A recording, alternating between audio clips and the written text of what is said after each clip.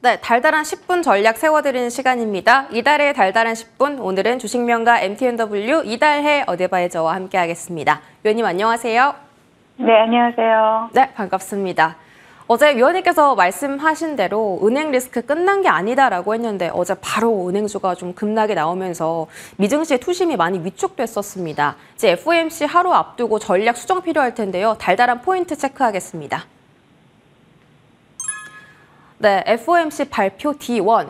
힘을 내요 슈퍼파워 이렇게 포인트를 잡아주셨습니다. 이 슈퍼파워 한창 유행했었는데 어, 오랜만에 위원님께서 좀 써주신 것 같아요. 지금 왜 파월 의장이 이 구간에서 힘을 내줘야 하는지 어, 아, 과연 경기 침체를 계속 이어가느냐 부양을 이제 시작해야 되냐 많은 고민이 있을 것 같습니다. 저희 전략 수정 좀 부탁드리겠습니다. 네, 저는 뉴욕 지수 상황부터 점검하도록 하겠습니다. 자, 어제 본방송을 통해서 그 묻혀버린 은행위기 한 줄 전략을 드리면서 자, 퍼스트 리퍼블릭은 묻혀버렸지만 문제는 해결되지 않았다. 시장은 다음 타겟을 찾을 것이다. 라고 말씀을 드렸었죠. 자, 결국 시장은 하루 만에 다음 타겟을 찾아냈습니다. 자, 팩 웨스트와 또 웨스트 얼라이언스, 메트로폴리탄과 같은 미국 서부 지역 은행들이 줄줄이 예, 다음 타깃으로 지목이 되었습니다. 아, 장중, 장중에 급락을 하면서 KBW 나스닥 지역은행 지수를 5% 넘게 끌어내리는 모습이 나타났죠. 자, 그 와중에 유로존의 물가는요, 7%로 전달 대비 상승을 하면서 다시 고개를 들고 있고요. 그리고 전일 발표된 JOLTs 보고서에 따르면 채용 공고가 959만 건으로 시장 컨센서스를 하회를 했습니다. 어, 2021년 4월 이후에 최저치로 떨어지는 모습이고요. 그동안 힘겹게 버티던 고용시장마저 서서히 무너지고 있음을 나타내고 있죠. 자, 끝나지 않은 은행위기, 계속해서 금이 가고 있는 고용에도 불구하고 잡히지 않는 인플레이션으로 인해서 추가 긴축 우려와 또 산적해 있는 모든 문제들이 수면 위로 올라오고 있죠. 자, 위기 의식을 느낀 시장에서는 채권 금리가 채권 금리 그리고 달러 인덱스가 급락을 했고요. 또 반대로 움직이는 이러한 성향을 가진 유가조차 경기 침체 우려로 급락을 면치 못하는 모습이었습니다. 자, 은행에 대한 관리 감독권을 가진 연준은 이제 정말 사면 초과에 몰린 상황이죠. 어, 성장을 포기하면서까지 인플레이션을 잡으려고 노력을 했지만 인플레이션은 여전히 예, 잡히지 않고 활개를 치고 있고요. 시장은 인질로서 가치가 없어진 이러한 성장을 내팽겨치고 금융 시스템을 볼모로 해서 연준을 협박하고 있는 상황입니다. 자, 궁지에 몰린 파월 연준 의장이 내일 FOMC에서 어떤 발언을 할지 모든 이목이 집중되고 있는 상황입니다. 자, 국내 지수 상황 살펴보도록 하겠습니다. 아, 뉴욕 증시 영향으로 인해서 개파락 시작한 국내 지수는 외국인과 기관의 양매도에도 불구하고 어, 상당히 추가 하락 없이 잘 버텨주는 모습입니다. 아, 그나마 대부분의 외국인 수급이 삼성전자에 집중되고 있는 모습이고요. 그러면서 지수를 어느 정도 방어해주고 있는 모습입니다. 어, 여전히 에코프로 그룹이라든지 포스코 그룹과 같은 2차 전지 대형 관련주에서는 그 계속해서 외국인들의 매도세가 나오고 있는 모습이 포착되고 있습니다. 자, 오늘장 테마 동향 살펴봐야 되겠죠. 어, 지수 하락 영향으로 인해서 제대로 된 테마가 형성되지 않았지만 그러니까 어제부터 어, 조금씩 테마 장세가 살아나기 시작한다라고 말씀을 드렸었죠. 드디어 오늘 강력한 테마가 출현을 했습니다. 아, 다 알고 계실 것 같은데요. 자, 대장인 삼화전자가 단기 급등으로 어, 거래 정지가 들어갔죠. 어, 삼화전자 차트 보시면요. 네, 단기 급등으로 이제 오늘 거래 정지입니다. 그리고 상신전자, 삼화전기, 그리고 C큐브, 한일화학, 캐스피온과 같은 어, 페라이트 관련주들이 대거 상한가에 안착하는 모습이 나타나면서 섹터의 시세를 견인하고 있는 모습입니다. 어, 상한가 종목 이외에도 어, 유니온 머티리얼, 뭐 SI 리소스, 그리고 한솔 테크닉스, 그리고 유니온과 같은 이러한 관련주들이 에, 대거 두 자릿수 상승률을 기록할 정도로 어, 굉장히 강력한 테마를 형성한 상태라고 보여집니다. 그 외에 뭐 미래생명자원, 원, 어, 한탑이죠. 어, 한탑 그리고 한일사료와 같은 이러한 곡물 관련주들이 어, 볼 수가 있겠고요. 그리고 KBG, 어, 뭐 KBG 그리고 STX 그리고 엔토텍과 같은 이러한 종목들을 보실 수가 있습니다. 자 그리고 슈프리마, 아, 알루코와 같은 아, 이러한 네옴시티 관련주들도 좋은 흐름을 나타내고 있지만 사실 오늘 시장 제대로 된 테마를 꼽자면 페라이트 관련주 이외에는 없다라고 이렇게 말씀드려도 될 만큼 굉장히 강력한 테마가 페라이트 어, 테마가 형성이 되고 있다라고 말씀을 드릴 수 있겠습니다. 자, 시장 대응 전략 드려야 되겠죠. 어제 본방송을 통해서 은행 위기는 끝나지 않았고 또 FMC를 앞두고 몇 거래일 안 되는 이번 주는 뭐 시장에서 한 발 물러나서 관망하자는 의견을 드렸었죠. 어, FMC가 가장 큰 이슈겠지만 FMC 이외에도 ISM 서비스업 지수라든지 ADP 민간 고용 보고서 그리고 비농업 일자리 수 실업률과 같은 이번 주 내내 매크로 지뢰밭이 펼쳐질 예정이다라는 것이죠. 어, 그렇기 때문에 섣부른 기대와 예측은 전략이 될 수 없다라는 말씀드리겠고요. 내일까지 편안하게 관망하시면서 굵직한 이슈들을 시장이 어떻게 소화해내는지 한 발 물러나서 지켜보시는 아, 그러한 매매 당부드리겠습니다. 네, 내일 FOMC를 포함해서 이번 주 계속해서 매크로 지표 발표를 앞두고 있는데 이 지표를 다 확인하고 시장에 참여해도 늦지 않으니까 지금 계속해서 관망해 보자라는 전략 세워 주셨습니다.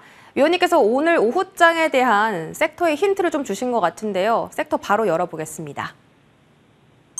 네, 오늘 달달한 공략 섹터는 페라이트 관련주입니다. 지금 시장에서 테마를 강하게 형성하고 있다라고 하셨어요.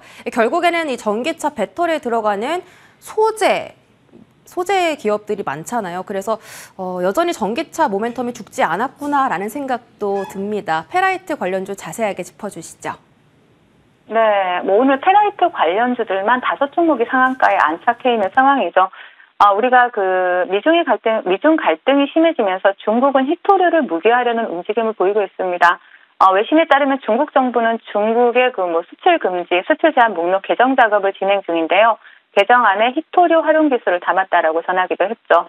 어, 이에 전기차 업체 선두주자인 테슬라가 최근 모터에 들어가는 히토류 대신에 페라이트 적용을 고민 중이다라고 밝히면서 관련 기업들이 현재 시장에서 상당히 강력하게 주목을 받고 있는 상황입니다. 어, 테슬라는 이미 지난 3월이죠. Investor Day에서도 희토류를 사용하지 않는 모터를 설계했다라고 밝힌 바 있습니다. 아, 테슬라의 이러한 움직임은 현재 미국 정부의 대중 그 외교 기조와도 일치하고 있는 그러한 모습이죠. 어, 지난 금요일입니다. 미 의회 해군 청문회에서 의원들은 미국의 아, 그 중국의 대만 침공을 원천적으로 막아낼 수 있는 미국의 전략에 대해서 어, 이러한 그 무인 잠수정을 해법으로 제시를 했습니다. 아, 또한 지난주 워싱턴 선언에 따라서 핵무기를 실은 미국의 전략 잠수함이 조만간 한반도 주변에 도착할 예정이기도 하죠. 이렇듯 국제 정세와 맞물려서 히토류 대체 물질로 페라이트가 주목을 받고 있고요. 어, 또 단순 무역 분쟁이 아니라 패권을 의심한 신경전이 장기간 지속될 가능성이 높다라는 겁니다. 뭐 이미 부담스러운 가격까지 상승을 해버린 대장주들보다는 실질적인 수혜주이면서 대장주 대비 아직 덜 주목받은 예, 페라이트 관련주들에 대해서 어, 주목해 볼 만하다 말씀을 드리겠습니다. 이미 많이 오른 페라이트 관련주 말고 이제 시작할 수 있는 종목 보자라고 하셨습니다. 어떤 종목일까요? 네, 바로 노바텍입니다. 자, 미국, 어, 미국의 테슬라가 중국발 공급망 위기를 피하기 위한 목적으로, 어, 모터에 들어가는 희토류 대신에 페라이트 소재를 대체할지 고민을 하고 있고, 이에 대한 그 개발도 하고 있는 것으로 확인이 되고 있죠. 그렇기 때문에 페라이트 관련주들 기대감이 지속될 수 있고요. 또 중국이 희토류를 자원무기화 삼으려는 움직임을 보이고 있다라면, 아, 당연히 또, 어, 이런 관련주들 관심 있게 봐야 되겠죠. 동사는 그, 페라이트 대비 자력이 뛰어난 것으로 알려진 네오디뮴 자석 사업을 영위하는 기업입니다. 국내 기업 중에서 유일한 예, 자석 전문가 기업이라고 볼 수가 있고요. 실제 국내 상, 장사 중에 유일하게 자기장 설계 기술도 가지고 있고 또 원재료 수식 능력을 내재한 기업입니다. 그렇기 때문에 어, 이러한 부분에 대해서 뭐 IT를 넘어서서 자동차 전장화라든지 뭐 로봇 확산이라든지 이런 큰 흐름에 따라서 어, 굉장히 사업이 확장될 수가 있고 또 아직 그 본 동사가 가지고 있는 기술력에 비해서 크게 주목받지 못했고 크게 상승하지 못했다라는 것이죠. 그래서 동종목 차트 보시면서 말씀드리자면요.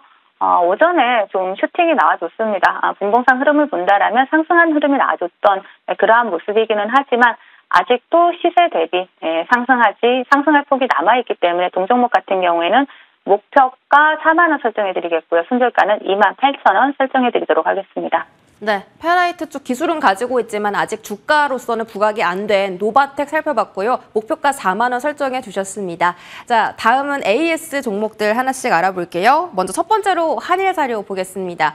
이 종목은 단기간에 큰 수익을 줬던 종목입니다. 이미 목표가 달성을 했고 위원님께서 일전에 5,500원을 지지하는지 보자라고 하셨는데 어제 정확하게 5,500원대 지지하고 오늘 추가 상승이 강하게 나와주고 있습니다. 자, 이 구간 어떤 전략 필요할까요? 네, 우리 앵커님이 정확하게 기억을 하고 계시네요. 어, 제가 5,500원을 이탈하지 않으면 계속 매수 관점으로 볼 수 있다라고 말씀드렸죠. 오늘 흑해 곡물 협정 관련 회담이 열릴 겁니다. 아, 러- 그런데 러시아의 태도가 아직까지 뭐 러시아는 성과가 없다라면 상당히 미온적인 태도를 가지고 있죠. 결국 뭐 타결될 수도 있겠지만 러시아 입장에서는 덥석하자고 하는 게 아니라 유- 유리한 고지를 점령하기 위해서 어, 좀 어느 정도 어, 그 조율하는 시간, 시간을 벌지 않을까라는 그러한 어, 예측을 해볼 수가 있겠고요. 어, 그러는 와중에 곡물 관련주들은 다시 한번 시세를 줄 가능성이 있다라는 것이죠. 그렇기 때문에 단기적인 관점으로 충분히 5,500원을 재이탈하지 않는다라면, 이탈하지 않는다라면, 어, 관심 있게 매수 관점으로 볼 수 있는 종목이다라는 말씀 다시 한번 드리겠습니다. 네, 한일 사료 꾸준하게 관심 가져보겠습니다. 다음 아모 그린텍도 보겠습니다. 4월 중순에 주셨던 종목이고요. 어, 최근에 시장 조정에 따라서 주가가 조정을 받았지만 어제 18% 급등 나왔습니다. 위원님께서 들고 가면 좋다라고 하셨는데 바로 슈팅이 나와줬고 오늘 추가 상승이 이어지는 구간이거든요. 여기서 어떤 전략 세워볼까요? 네, 사실 아모그린텍 같은 경우에는 LFP 배터리에 관련주로 제가 어, 본 방송을 통해서 말씀드렸었는데 어제도 예서 드리면서 목표가까지 홀딩하시라고 말씀을 드렸죠. 오늘 새로운 그 모멘텀이 노출이 됐습니다. 자, LFP 배터리라고 소개를 했는데 오늘 어, 강력한 테마인 페라이트 관련주로 특징주 뉴스가 나왔죠. 그렇기 때문에 일단 새로운 상승 모멘텀을 어, 가진 만큼 다시 한 번 더 시세를 주고 또 목표가까지 갈 수 있는 동력을 얻었다라고 볼 수 있습니다. 그렇기 때문에 목표가까지 홀딩하시라는 전략 드리겠습니다. 최근 시장 주목도 높았던 LFP 그리고 페라이트 등 모멘텀 엮여 있다.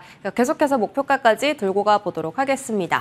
마지막으로 한 주 라이트 메탈도 볼게요. 이 종목은 3주 만에 77%의 수익을 안겨준 종목입니다. 지금 차트상 자리를 보니 위원님께서 재매수로 또 가져와 주신 것 같은데 맞을까요? 네, 맞습니다. 아, 지금 차트를 보시면 이 자리죠. 어, 5,500원 자리, 그죠? 5,500원 자리를 지켜주는 모습이 나타나고 있다라는 것이죠. 지킬 자리를 지켜준다라는 것은 어, 하방보다는 상방일 가능성이 높다라고 볼 수가 있습니다. 어, 전기차는 사실 그 경량화가 핵심이죠. 어, 그래야지 에, 조금 더 주행 거리가 잘 나올 수 있다라는 것이죠. 그래서 이 알루미늄 관련주 중에 신규 상장주로 시세를 줬던 그리고 또 2차 전지 관련주로 다시 한번 시세를 줄 수 있고 또 지지라인을 이탈하지 않는 종목 한주라이트메탈 관심 있게 보시면서 어, 종가상으로 5,500원 이탈하지 않는다라면 계속 추적해 보시면서 수익 줄 때 챙기고 이탈률을 확인하면서 재매수 관점 계속 유효하다 말씀을 드리겠습니다. 네, 종가상 5,500원 지지 여부 체크하도록 하겠습니다. 지금까지 MTNW 이달해 어드바이저와 함께했습니다. 고맙습니다. 네, 감사합니다.